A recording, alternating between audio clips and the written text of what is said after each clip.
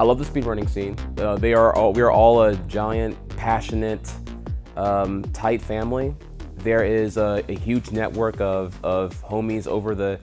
Let it be known, like the uh, there there are many people who stream on Twitch who only attend GDQs because that is like their family away from family essentially. Um, I love them all a lot.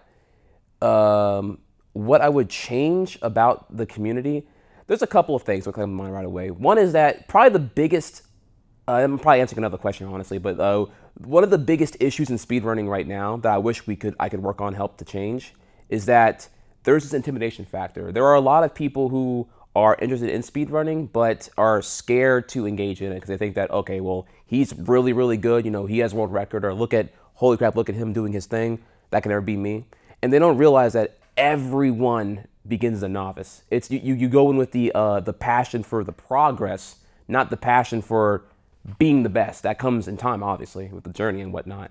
So they, they everyone feels intimidated, and, and what what scares me is there's going to be a point where there's like so much isolation of the top one percent of all speedrunners who have world records or or, or known or, or popular, like me or whatever that you'll just have less and less people engaging um, on all the popular speed games because they can't get to that point. They can't get top 100. They can't get top 500.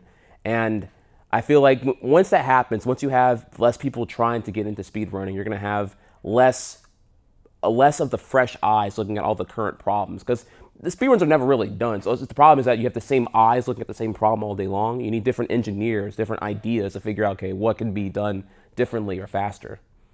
So I would love to see uh, that intimidation wall broken down and, and, and to make it more accessible, whether that means like, I don't know, tutorials or like um, just some kind of booming initiative to keep keep that thriving. Not that it's dying right now, but I do think I, I have seen that a lot though.